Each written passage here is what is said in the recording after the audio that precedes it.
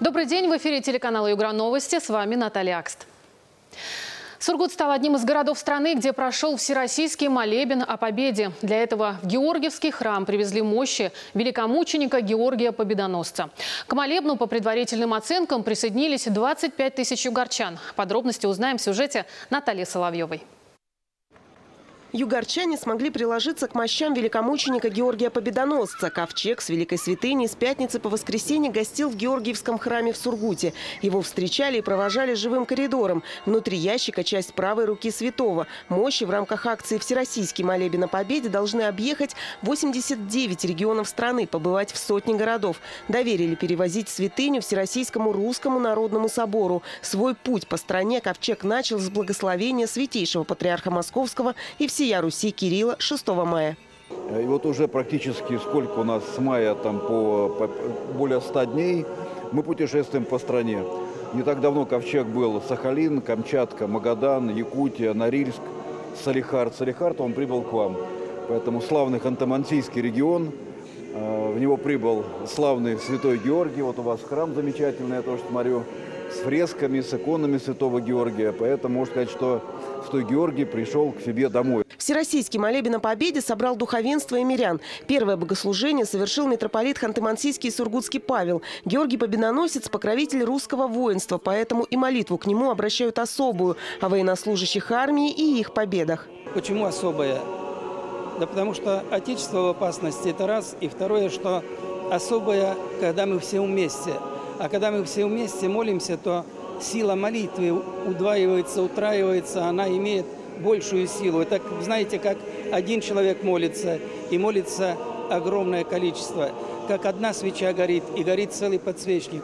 Конечно же, одну свечу легко погасить, так и молитву одного. А когда все вместе, тогда сила. Молебны над мощами Георгия Победоносца проходили каждые полтора часа. При этом их проводили священнослужители из разных приходов. Приезжали паломники из других городов.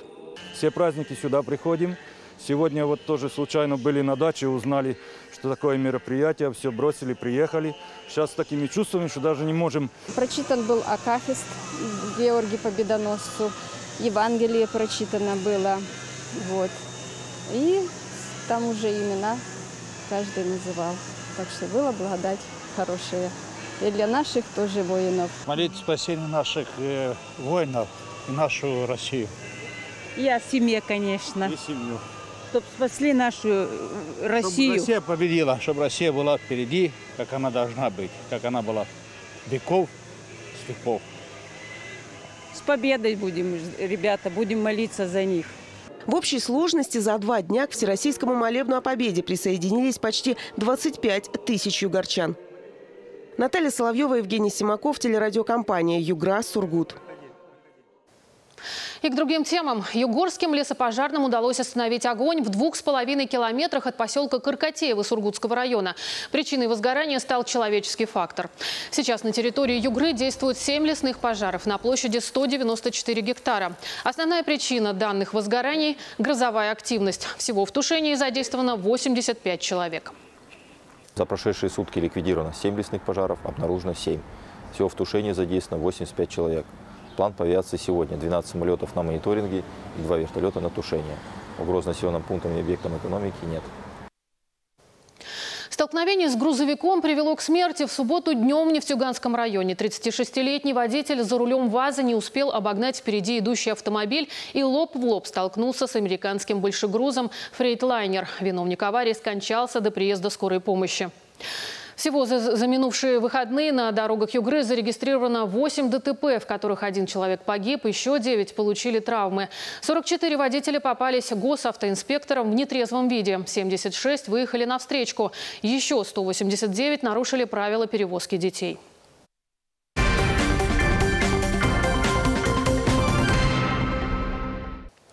В битве титанов победил супергерой из Нижневартовска. Олимпийский чемпион Токио Альберт Батыргазиев одолел доминиканского боксера Франсиса Фрамету. По регламенту соперники провели на ринге все 10 запланированных раундов. В итоге единогласным решением судей победу одержал Альберт Батыргазиев. Югорчинин контролировал ситуацию и не давал сопернику по прозвищу «Ужасный» работать в полную мощь. Перед десятым раундом доминиканец пытался выиграть время и умышленно затягивал перерыв. Но Альберт Батыргазиев справился с хитростями Фрометы и довел бой до логичного завершения. Отмечу, что вартовчанин прервал победную серию доминиканца, которая длилась 6 лет и насчитал 17 побед. Первое поражение доминиканца случилось на югорской земле. После объявления результатов Фромета не смог сдержать своих слез. Боксер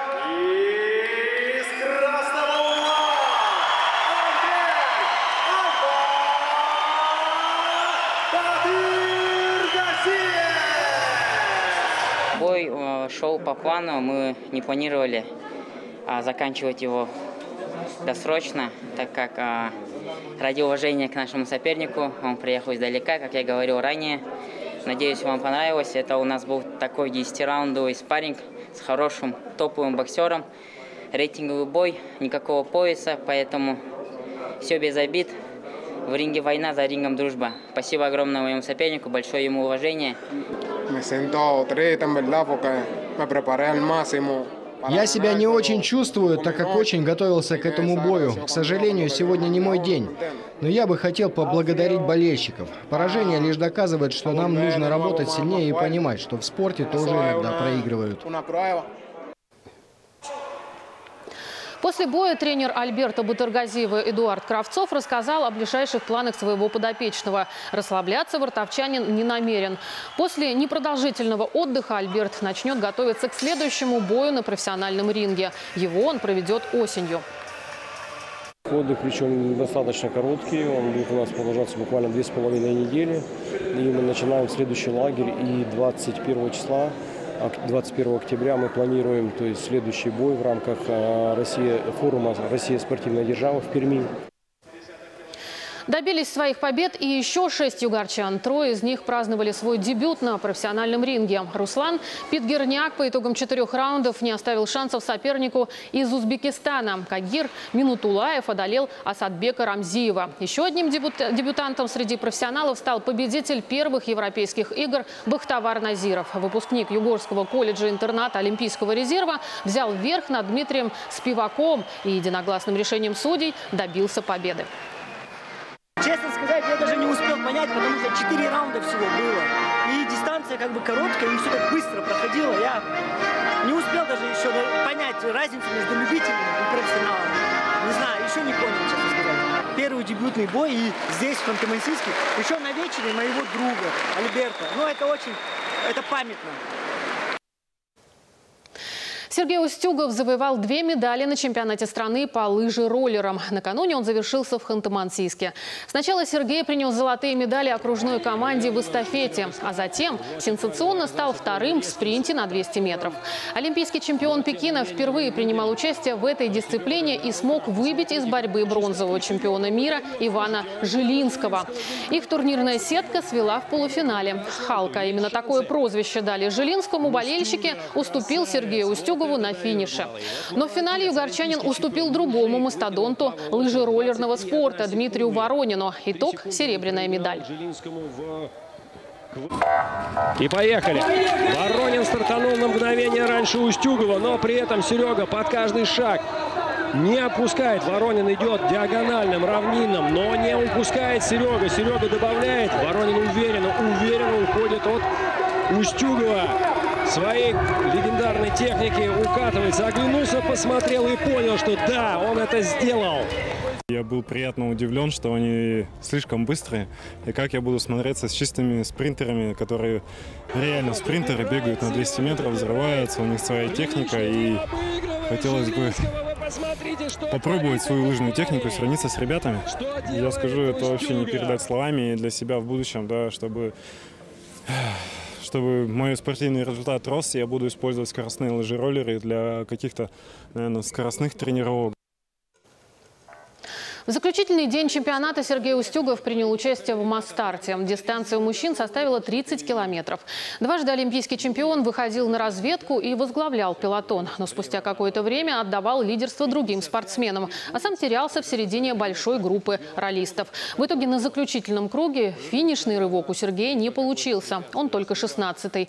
А вот еще один югорчанин Рифат Софиулин, напротив, оказавшись в лидирующей группе, наш спортсмен сумел удержать позиции и заехать на третью ступень пьедестала. Второе место занял Илья Безгин, а выиграл мастарт Андрей Краснов. 14-летней сургутянке имплантировали в сердце миниатюрный компьютер. Высокотехнологичную операцию провели врачи окружного кардиодиспансера. Родители девочки забили тревогу, когда у нее стало подниматься высокое артериальное давление и открывались носовые кровотечения. Обследование помогло выявить гипертрофическую кардиомиопатию. Причиной редкой для таких молодых пациентов патологии зачастую является мутация генов.